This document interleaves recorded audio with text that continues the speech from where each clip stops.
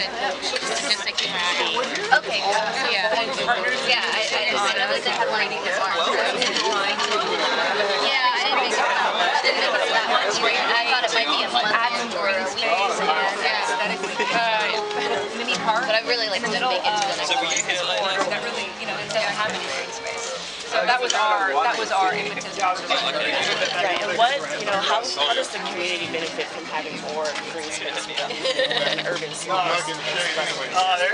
Oh, it adds to the vibrancy of the business corridor. It gives people a little bit of respite uh, from shopping or eating or whatever they're doing. They take a break and sit and kind of enjoy, you know, their, their surroundings. They get to know their neighbors. You know, when we did our Sunday streets, we opened up our streets, right, to people, and they got to know the small businesses and And little green spaces in the middle of business corridors the same time. People sit, they stop, they talk, they enjoy the greenery, and they enjoy each other, and that's what we're really trying to. I bet it works so much.